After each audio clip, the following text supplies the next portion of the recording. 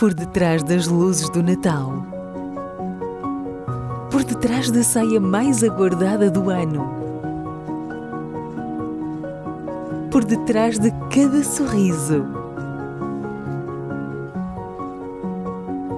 Por detrás dos afetos que não conhecem distâncias. Existe engenharia. Por cada partilha deste vídeo, a Ordem dos Engenheiros doará 50 cêntimos para as ações de solidariedade social da Associação Mutualista dos Engenheiros.